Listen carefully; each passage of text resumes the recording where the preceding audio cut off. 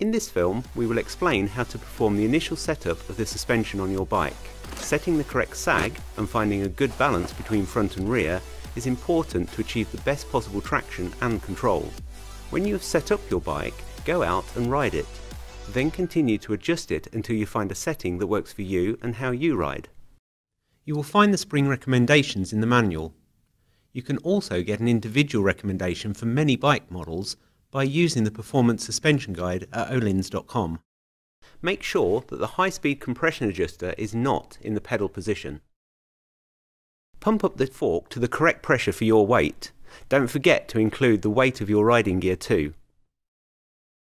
On the fork, there is an air pressure recommendation table on the lower leg. It is important to pressurise the ramp-up chamber of the fork first to allow you the possibility to adjust the bottom-out support. When adjusting the pressure of the shock or fork, it is important to equalise the pressure of the positive and negative chambers. To achieve this, simply compress the suspension a few times with your own body weight. Now it's time to get on your bike.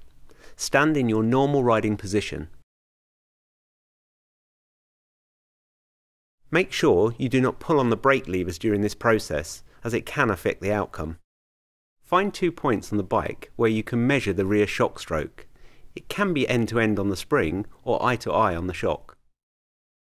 A good starting point is 30% sag, but it does vary between bike manufacturers, so be sure to check their recommendation. Adjust the preload of the shock. This can be a maximum of two turns from when the preload adjuster first touches the spring. You'll need a stiffer spring if the existing spring requires more than two turns of the preload to achieve your desired sag. Ask a friend to help you remeasure the new distance between the two measuring points that you first chose. Now that you've dialed in your base setting, it's time to go out and ride. Take some time to feel how your bike performs. Fine tune your settings by adjusting the air pressure up or down, adding or decreasing the coil preload and using the clicks on the damper.